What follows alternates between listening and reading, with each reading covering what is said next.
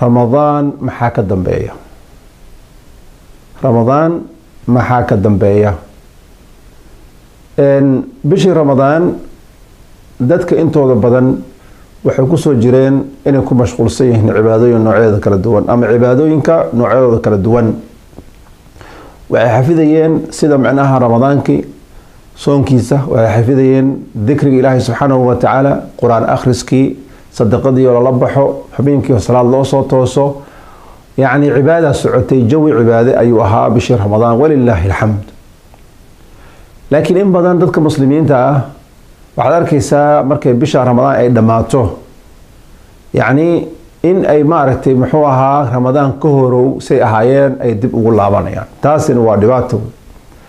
Sidaa daraaddeed marka waxaa jira waxyaabo mawaanic ah ama waxyaabo maaragtay muxuu ahaa cawaamil ah. Famathalan qofka haddii umuurta soo socota uu dhaqangeliyo umuuraha dhowrkan sheegi doona uu dhaqangeliyana ilaahay wuu badbaadinaya subxaanahu wa tacaala.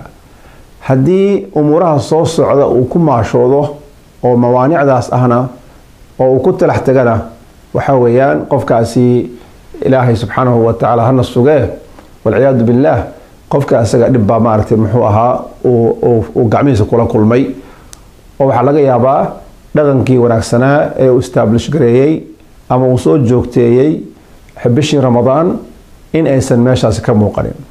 Maxaa yeeley bisha ramadaan yacni maaragtay masaajidkii baa saaxiib la noqotay.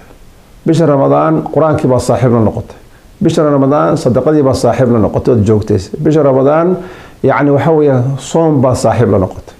Marka intaasoo idil qofka inay haddana ay ka noqoto oo keliya qof ramadaani ah oo bisha ramadaan keliya ilaahay caabuda inuusan noqonin laakiin waxaa la rabaa qof inuu noqdo rabbaani ah oo rabbi weyne subxaanahu wa tacaala caabuda.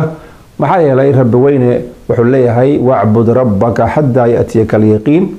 Ilaahay caabud ilaa ay yaqiinta kuu timaado waa saas wey ciddata maraad baa maalin kasta ilaahay waxaan weydiisanaa subxaanahu wa tacaala in ka badan toddobiyo toban jeer yacni ilaahay waxaan weydiisanaa inaan sugnaano oo cibaadadiisa ku sugnaano. Ihdina siraad almustaqiim ihdina siraad almustaqiim toddobiyo toban jeer buu qofka yani maarata markuu tukanayo ayuu la yimaada maalinkii? Sidaa daraaddeed marka walaalayaal haddii qofka waxyaabaha ka mancinaya uu ka joogto yani iska ilaaliyo waa uu badbaadayaa insha allahu tacaala.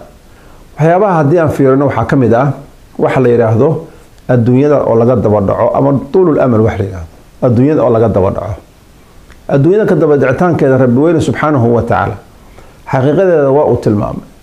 Dadka noocaasoo kale inay ku kadsoomeen yacni noloshoodii bay ku kadsoomeen. Adduunyadii baa kadisay waqaratkum alamaaniy ilaahay subxana wa taala wuxuu leeyahay idadiiladiinii iyo waxaad higsanayseen iyo waxaad adduunya uga daba dhacdeen iyo dhadhalaalkeeda ayaa idinkada gelisay buu leey allah subxaanahu wa tacaala rabbi weyne subxaana wa tacaala taasi inay keenayso qaswatulqalbi wax la yihahdo ama qalbiga oo angega ayuu tilmaamay. Adduunyada laga daba dhaco wuxuuna tilmaamay uu yidhi walaa yakunuu kaladiina uutuu lkitaaba min qablu fataala calayhim alamad faqasad quluubuhum. In dadku aysan noqonin maxay dadkii hore oo kale oo waqti uu ku dheeraaday qalbigoodina markaas uu angeg iyo qaswatulqalb lidaalika marka sababtaas oo inshiqaalka adduunye qofka uga daba dhaco hadafkiisaba uu noqdo adduun oo keliya ayaa rabbi subxaanahu wa tacaala uu dadka noocaasoo kale ah qur'aanka ku ceebeeyey wuxuu yihi darhum yaakulu. Nabi maxamed sal slam faraha ka qaad ha cunaan. Wayatamatacuu ha iska raaxistaan wayulhihim lamal amashooda iyo waxa ay rabaan inay accomblish gareeyaan ama ay ka daba dhacaan oo helaan ha mashquuliso buu li allah subxaanahu wa tacaala. Fasawfa yaclamuuna goor damba ay ogaan doonaan. Marka qofka inuu maarata u nool yahay yacni maantay maxaa meel wanaagsan wax ka cunto wax wanaagsan aad cunto meel fiican oo aad degto wax fiican oo aad xirato wax fiican oo aad kaxaysato yacni maaragtay vacation hadday wax ka ururaanba vacation inaad tiraahdid maaragtay muxuu hadafka iyo goolkeyga u yahay. Qofka haddiiba marka adduunyo uun wax u seef garaynayo mawjada allah wuxuu leeyahy subxaanahu wa faraha ka qaad yacni goor dambe ayay ogaan doonaan. Marka gaalada dhaqankeeda lagu yaqaana arrinta noocaas oo kale ah inay u shaqeeyaan u dhabar jabaan sidii ay maxay maaragtay muxuu ahaa adduun uga salgaari lahaayeen. Taasna qofka muslimka adaabigiisa maaha. Taa waa midii koowaad. Midda labaad oo laga yaabo inay ka maciso qofka inuu ilaahay daacadiisa joogteeyo bacda ramadaan. Waxaa ka mid a waxa weye qofka mubaaxaadka waxyaabaha ilaahay u baneeyey inuu ka daba dhaco. Mawjada inuu ka daba dhaco oo markaa uu ku mashquulo. Nacam waxbaa la baneeyey ilaahay subxaanahu watacala noo baneeyey. Laakiinse limid baa loo yeer oo waxaa la yidhi wakuluu washrabuu oo kuluu min alayibaati maa rasaqnaakum walaa tadqow fiih cuna oo ku raaxaysta waxaan idinku arsaaqna oo idin siinay laakiin ha xadgudbina ilaahay subxana wataala weli yaan la kibrin walaa tadqow fiih marka laakiin haddii aad markaa noqotid qof uun yacni ka daba dhaca daldalaalka noloshaas oo wuxuu caabay iyo wuxuu cuno un ka fikira ayadana waxa weeyaan mubaaxaadkii waxay keeni karaan ama waxyaabihii ku banaanaa waxay keeni karaan inay maxay daacada ilaahay subxaanahu watacaala kaa fogeeyaan ramadaanka kadib. Leanna ramadaanka kadib shaydaanka dad badan baa laga yaabaa inuu yani maaragtay muxuu ahaa uu u uu ka xirnaa ramadaankii wanaagsanaayeen wuxuu yidhi bal iikaadi kuwan markay ramadaan ka soo baxaan meeshoodii hore ku celinaya. Haddii marka dhaartii horay u dhaartay aa u rumayso ade adigiibaa shaydaanka la shaqaynaya wey walaqad sadaqa ibliisu danna fattabacuuhu ilaa qaliil yacni ibliisi marka wuxuu ka dhabeeyey malihiisii iyo wuxuu rabay inuu gool ka gaaro in badan dadkii way raaceen sababtoo ah siduu rabay waa saas wey marka adi bal rabo before ramadan situationkaagii inuu after ramadan uu haddana at the same time uu kusi uu noqdo ramadaanka waa in wax kaa bedelo wey lacalakum tattaquun ba aayaddii ramadaanka ilaahay nagu waajib yeelay lagu soo gabagabayay marka taqwadaas la geengareeyay aawe cabsidaasi maxay kaa bedeshay noloshaadii maxaa iska bedelay resolutionkii aad naftaada aada u bandhigtay ilaahaygi gacmaha u taagatay rabbigii situationka u sheegatay yacni inuu axsan axwaal u ka dhigo iyo axwaashtan u wanaagsan maxaa iskaa bedelay waana is weeyaan. Lidaaba salafka waxay odhan jireen dadka in camalkoodii bisha ramadaan la aqbalay waxaa lagu ogaadaa yacni bacda ramadaan sida ay ka xaal dhigtaan. Hadday bacda ramadaan joogteeyaan ilaahay daacadiisi. Least percentage fiican ay joogteeyaan. Qofka isaga bishii ramadaan waxba u hagaagay. Laakiin sidii ka horeysa ramadaan hadduu qofki ku noqdo qofka isaga waa inuu dib maaragtay muxuu ahaa toobadkeenkiisi istikfaartiisa u badiyo waxbaa maaragtay muxuu ahaa si noqday. Arrinka kale saddexaad waxaa ka mid ah in qofka uu ka fogaado inuu ka fogaado meelaha maaragtay muxuu ahaa yacni environmentiga aadka u dhibka badan. Haddii ay tahay meelaha laga buuqo suuqyada oo kale farikudirirka waxyaabaha noocaas inuu ka fogaado. Haddaadan ka fogaanin oo taas naftaada aada islamarkiiba suuqii ku cararto oo maqaacyadii iyo meelihii la fariisanay aada joogtayso waqti fara badan aad ku bixiso oo aada intaas yani waxyaaba ku mashquulsan tahay dee maxaa dhacaya? Jawiga isaga ah inuusan waxba kaa bedelin oo jawiga asaga inuu ku dhibaateeyo ka soo qaad. Inuu ku dhibaateeyo marka yacni environmentiga ama bay-ada wanaagsani isbeddel bay leedahay. Isbedelkeedaasi in qofka maaragtay muxuu ahaa mar walba u doonto ilaahay wuxuu u jecel yahay meelaha maaragtay muxuu aha masaajida ah.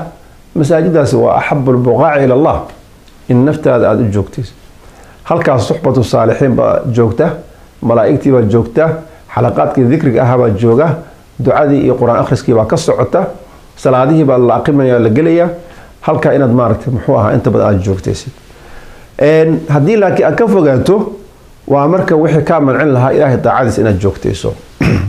Marka waxyaabo aan u baahana inaan dhaqangelino bacda ramadaan oo aan joogtayno ayaa jira.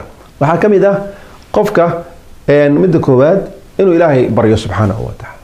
Allahuma yaa muqalib alquluub thabit qalbii calaa taacatika nabiga caleyhi salaatu wasalaam ducadaas joogtayn jiray. Allaha quluubta gadgadiyow ilaahayow qalbigayga ku joogtay daacadaada buu odhan jiray nabiga caleyhi salaatu wasalaam.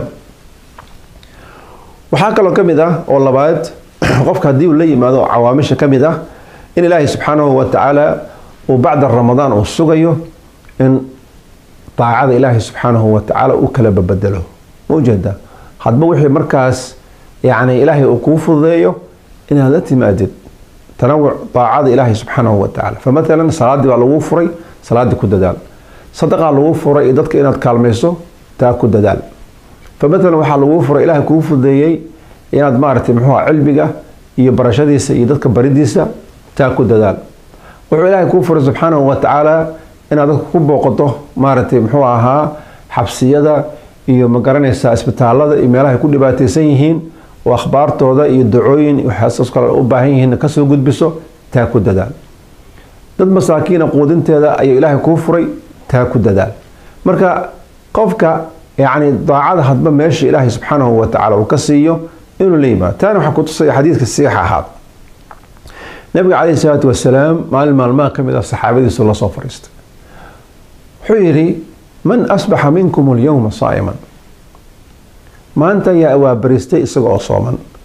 Abubakar gacantu taaga wuxuu yidhi aniga rasuulka allow man caada minkum almariida yowm maanta yaan qof xanuunsan booqday buu nabi calayhi salaatu wasalaam abubakar wuxuu yidhi aniga man itabaca minkum aljanaaza maanta yaa maantay janaazadii raacay oo qof dhintay raacay oo muslim ah wax ka soo duugay. Abubakar wuxuu yidhi aniga wuxuu yidhi man adcama alyowma minkum jaayacan qof gaajeysani maantay yaa quudiyey buu yidhi. Abubakar wuxuu yidhi aniga arrintii marka abubakar waa isku fuuqsaday saxaabadii kale waa la-y waxaa weeyaan qof gacantaaga ma leh. Waxaadna garanaysaan khayrkiisa abubakar radi allahu tacala canhu wa ardaah. Markaasuu nabiga caleyhi salaatu wasalaam wuxuu yidhi nabiga caleyhi salaatu wasalaam wuxuu yidhi qofi intaasi uma kulanto ilaa ilaahay jannada ayuu geliyaa yani ma ijtamacna fii imri'in ilaa dakhala aljanna buu nabiga caleyhi salaatu wasalaam marka daacaadka noocaas oo kale ah dadna ilaahay kulligood u fududay dadna qaar ba ilaahay u fududay halkaa marka waxaad fahmaysaa nabiga caleyhi salaatu wasalaam markuu ishaaraya daacadaha noocaas kale ah kala duwan cibaadooyinka noocaas oo kale ah mid qofkii wuu socday janaasadii raacitaankeeda energy tamar buu baxshay. Mariidkii booqashadiisa energy tamar iyo time buu bixiyay qofka isaga ah. Masaakiintii oo la quudiyo jeebkiisuu ka shaqaysiiyey. Inuu soomo naftiisiibuu ka shaqaysiiyey. Ma ujeeda way kala duwan tahay. Ma garanaysaa? Marka qaar yacni qowli weeye oo qur'aanka akhrintiisa iyo khayrkii cilmigii baristiisa noocyadaa marka kala duwan cibaadada ilahay hadduu kuu fuday subxaanahu wa tacaala wax badan buu ilaahay kuu fuday subxaanahu wa tacaala taa markaan intaa aan yacni aan uga soo gudbo qodobka saddexaad ee cawaamisha ah qofka hadduu dhaqan geliyo ilaahay subxaanahu wa tacaala daacadiis u fudan waxaa ka mid ah yacni masaajidda inuu ku tacalluqo. Beytka ilaahay subxaanahu wa tacala inaad ku tacalluqdid. Especially ragga inay inta guryahaas ka fadhiyaan ama meelaha suuqiga iska joogaan ama moolasha iyo meelaha ku gaabsadaan salaadaha wax fiican maaha. Waxaa loo baahan yahay meel salaad laga adimayo laga aqimayo qofka inuu salaada geeyo oo soo tukado. Mujeedaa halkaa jamaacadii iyo jumcadii uga qayb qaato. Maxaa yeelay tacaluq bilmasjidi wa ahlihi waa waxyaabaha qofka daacada ilaahi subxaanahu wa tacaala kuga kaalmeynaya. Maxaafadatu cala salawaat baa meeshii ka imaanaysa dikriga iyo xilaqaadka cilmiga ahaabaa meeshii yani maaragtay muxuu ahaa ahaaday waajibkii baad ku gudanaysaa waana axabu lbuqaaci ila allah meesha ilahi u jecelyaha wa abqadu lbuqaaci ila allah nabi sal slam muxuu tilmaamay inay tahay suuqa iyo meelaha maqaaxiyada. Ah meel kasta wax lagu kala gato waa suuq. Halkaasuu ku tilmaamay nabiga caleyhi salaatu wasalaam waxaan ku soo gabagabaynayaa qofka inuu maaragtay ku dadaalo mutaalaca yacni qisas dadkii hore qodobka afraaxa weye dadkii hore qisaskoodii akhri dadka maanta markii magacooda la xusoba radia allahu canhu. Magacooda marka la xuso yacni maasha raximahu llahu tacaala. Baal dahab galay oo maalintii dhawan dhowr iyo toban jeer aan magacooda soo qaadno ama cilmigoodii iyo waxoodii aan ka faa'iidaysano nabiga caleyhi salaatu wasalaam si qalbigiisa tasliil loo geliyo yacni uuna kaalmaysto allah subxaanahu wa tacaala qur'aanka saddex qeybood isagoo ah uu soo dejiyey. Qeyb waa axkaam qeyb waa towxiid qeybna waa maxay? Qeybna waxaa waa qisas wey qisooyinka marka rabbi wuxuu ku tilmaamay wakullan naqusu calayka min anbaa'i rusuli maa nuthabitu bihi fu-aadak. Waxyaabaan kaga qisoonay oo ambiyada ilaahi subxaanahu wa tacaala dacwadoodii say u rafaadeen dhibkay kala kulmeen waxay ku badbaadeen waxay ku sugnaadeen waxay ilaahay subxana wa taala ku guuleysiiyey dhammaan sabarkoodii dulqaadkoodii. Aan kaaga qisoonayno waa wax aan qalbigaaga ku sugayno wey maa nuthabitu bihi fu-aadak. Ma jeeda qalbigaaga aan ku sugayno oo micnaha waa maxay? Yani aad ka helaysa tasliya yani aad ka helaysa waxa la yihahda maxay? Sugnaansho aad ka helaysa. Oo aad leedahay allelehe diintan sana loo soo maray dhibkaana loo maarata wahaakada intaa rafaad baa loo soo maray dulqaadka iyo sabarka baa lalahaa ilaahay subxaanahu wa tacala saasuu ku guuleysiiyey. Marka dadku way isku jiraan. Dad baa marka qisooyinka looga waramo yacni wax iska bedelaan noloshooda. Maanta odhan laakiin haddaad waxyaabaha qaarkood ku akrinaysid axkaamtii iyo wacdigii kale iyo waxaa laga yaabaa inuusan qofkaasi waxba iska bedelin uusan dhaqaaqin xoogaa uun cilmi dhigoodka ka faa'iidaysto laakiin markaad qiso soo bilowdo oo kale fa mathalan ama qof qisadiis ka waramayso attention buu bixinaya attentionka asaga qisadiibaa ku socota ku socota ku socota. Markuu wuxuu ay ku socdaan hadhow inshiraax qalbi buu dareemayaa. Wuxuu isleeyahy alla ilahay qofka kani qof lagu daydo mudan wey macuha dhibkii dadkii maarata salafka ahaa ridwaanullahi calayhim cibaadadoodii marka laga waramo jihaadkoodii marka laga waramo sadaqadoodii marka laga waramo ku dadaalka cilmiga marka laga waramo yacni maaragtay muxuu ahaa wanaagyadii kala duwanaa ay sameyn marka laga waramo waxaa waye qofkii waxbaa iska bedelay marka taasi waxay noqonaysaa in qofkii marka qisooyinka oo kale inuu maaragtay yacni ka raadiyo kusugnaanshaha diinta raggii baalka dahabka galay.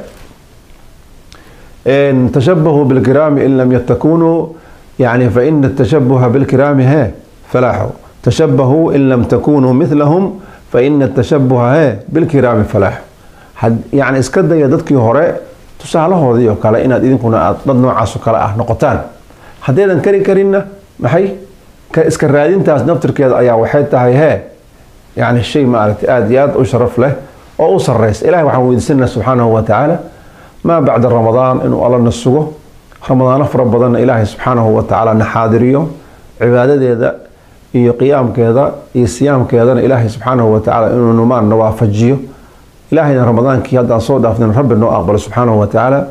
Wajazaakum allahu khayr wasalaamu calaykum waraxmat ullaahi wabarakaatu